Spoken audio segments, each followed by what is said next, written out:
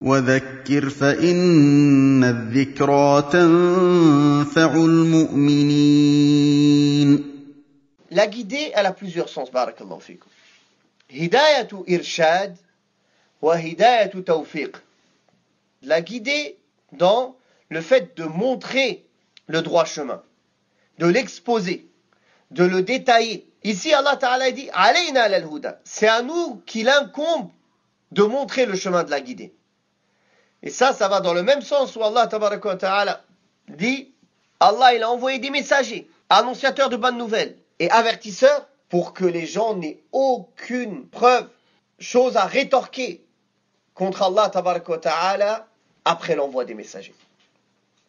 Que les gens n'aient aucune objection à présenter à Allah Ta'ala après l'envoi des messagers وهذا من حكمة الله la sagesse d'Allah subhanahu wa ta'ala وما كنا معذبين حتى نبعث رسولا et on ne châtie pas un peuple jusqu'à qu'on envoie un messager donc Allah ta'ala dit ici inna alayna lal-huda c'est à nous qu'incombe de montrer le chemin de la guidée d'envoyer les messagers de révéler le Coran etc pour que les gens il n'aient plus d'excuses il n'est pas d'objection à présenter devant Allah la guidée dans ce sens-là, de montrer la guidée, de montrer le chemin de la guidée, elle n'est pas spécifique à Allah.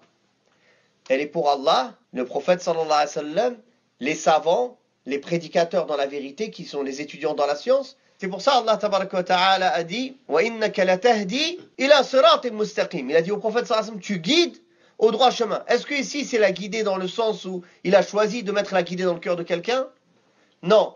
Hidayat ou irshad il leur montre le droit chemin. C'est ça dans le sens de guide ici. Amma hidayatu tawfiq, la guidée qui est dans les cœurs des gens, la permission de la guider, ça, ça appartient à Allah seul.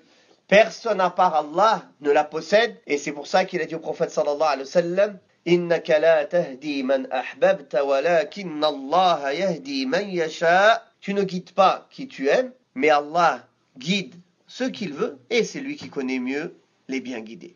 Subhanahu wa ta'ala. Donc la guidée, il y a hidayatu irshad ou hidayatu tawfiq. Hidayatu tawfiq, c'est spécifique à Allah. Hidayatu irshad, Allah, le prophète sallallahu les héritiers des prophètes qui sont les gens de science, ils ont tous euh, un rôle pour transmettre cette guidée-là. Donc Allah en envoyant les messagers, en révélant, et les prophètes en transmettant, et les héritiers des prophètes en transmettant l'héritage que les prophètes ont laissé.